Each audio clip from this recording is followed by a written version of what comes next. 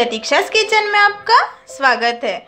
आज हम बनाएँगे ओरियो बिस्किट के पेस्ट्री यानी कि ओरियो बिस्किट पेस्ट्री जो बड़े आसानी से हम घर पर ही बना सकते हैं और ये बच्चों को भी बहुत पसंद आती है। उसके लिए हमें चाहिए ओरियो बिस्किट यहाँ मैंने 15 ओरियो बिस्किट्स लिए हैं। दूध half cup whip cream half cup half teaspoon baking powder. Cherries इसे मैंने बारीक कट कर लिया है। ये हमें गार्निशिंग के लिए चाहिए। ये चेरीज इसे मैंने कट नहीं किया है। और चॉकलेट। यहाँ मैंने मिक्सर जार लिया है। पहले हम बिस्किट बिस्किट को इस तरह से तोड़ के इसमें डालेंगे।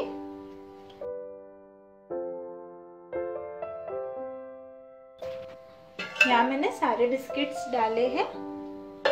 अब हम इसमें दूध डालेंगे। हाफ़ कप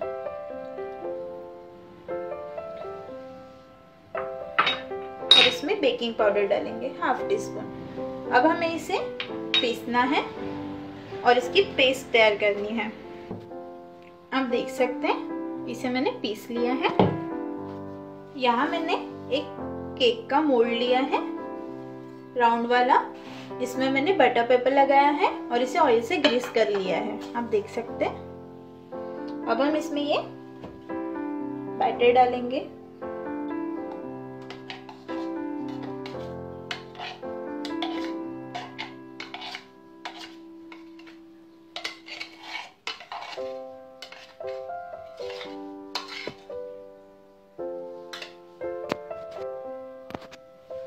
इसे हम थोड़ा इस तरह से टैप कर लेंगे।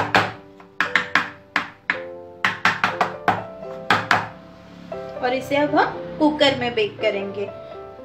कुकर में बेक करने के लिए पहले हमें कुकर में नीचे नमक डालना है। आप देख सकते हैं कुकर में मैंने किस तरह से नमक डाला है। अब हम इसे गैस में रख देंगे। कुकर को मैंने गैस पे रख दिया है। इसे हम एक दो मिनट के लिए प्रीहीट कर लेंगे। दो मिनट के लिए इसे हमें प्रीहीट करना है। आप देख सकते हैं, मैंने यहाँ इसे कुकर में रख दिया है। का ढक्कन लगाकर इसकी सीटी निकाल लेंगे और इसे 10 से 12 मिनट के लिए सिर्फ़ हम बेक करेंगे, क्योंकि इसे बेक होने के लिए ज़्यादा टाइम नहीं लगता है। केक बेक होने तक हम हमारी व्हिप क्रीम बनाएँगे। उसके लिए मैं यहाँ एक बाउल में ये क्रीम डालूँगी।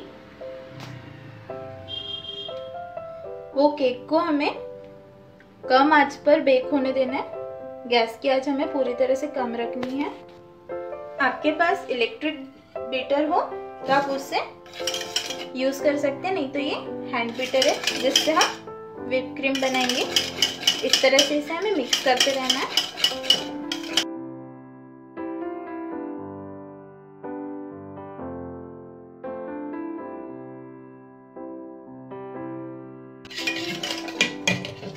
आप देख सकते हैं धीरे धीरे। क्रीम गाढ़ी हो रही है। इसे इस तरह से चलाते रहना है।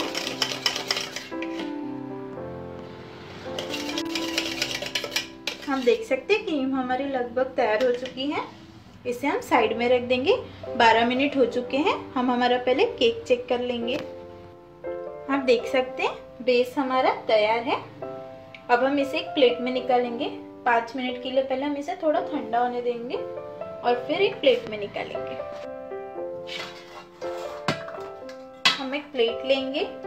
इसे इसके ऊपर इस तरह से रख के इसे उल्टा कर लेंगे।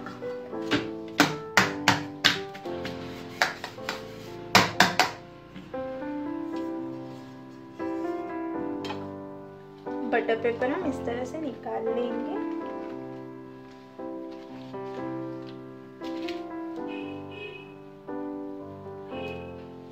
बेस को हम और थोड़ा ठंडा होने देंगे और फिर इसे कट करेंगे। इसे हम साइड में रख के थोड़ा ठंडा होने देंगे। तब तक ये क्रीम जो है विप क्रीम इसे हम मिक्स करेंगे इस तरह से।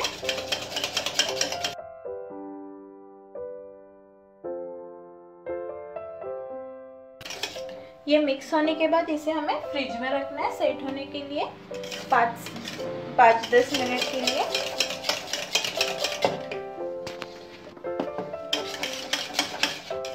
देख सकते हैं। क्रीम हमारी तैयार हो चुकी है। ये पूरी तरह से गाढ़ी हो गई है, जैसी होती है। अब हम इसे फ्रिज में रख देंगे। 10 मिनट के लिए। अब हम इसे कट करेंगे।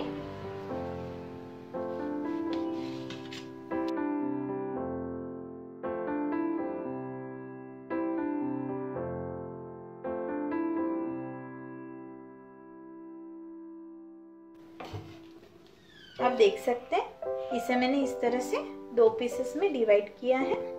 आप देख सकते हैं, यहाँ मैंने पाइपिंग बैग में विप क्रीम जो हमने बनाई थी, वो मैंने डाल ली है। अब हम इसके ऊपर से ये क्रीम लगाएँगे।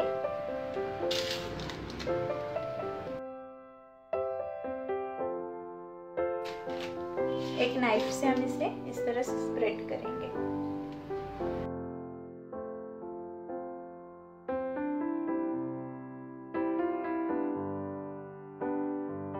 अब हम इसके ऊपर से ये चॉकलेट डालेंगे।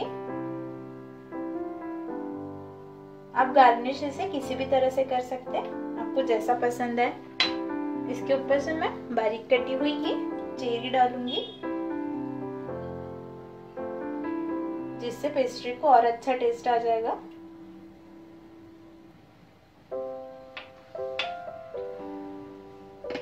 इसके ऊपर हम ये सेकेंड लेयर रखेंगे। इस तरह से। ये देखने में भी बहुत प्यारी लगेगी और खाने में और टेस्टी लगेगी। इसके ऊपर से हम हाँ और विप क्रीम लगाएँगे।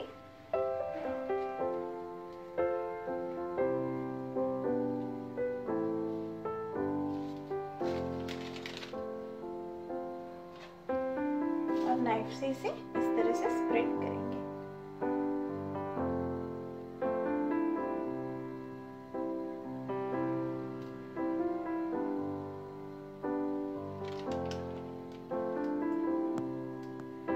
आपको पसंद हो तो आप थोड़ा थोड़ा इसे साइड से भी इस तरह से लगा सकते हैं।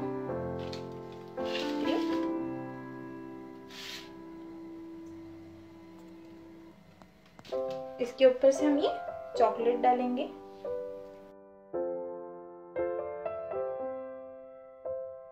इसके ऊपर से हमने चॉकलेट डाल ली है।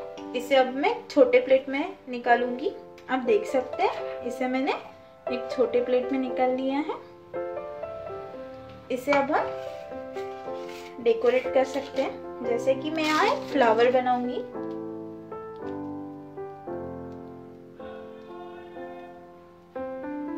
इस तरह से। और इसके ऊपर हम एक चेरी रखेंगे। अब हम इसे सर्व करेंगे। तैयार है हमारी Oreo pastry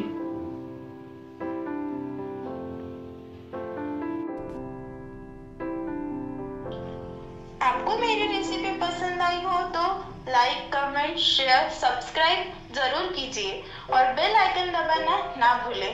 thank you friends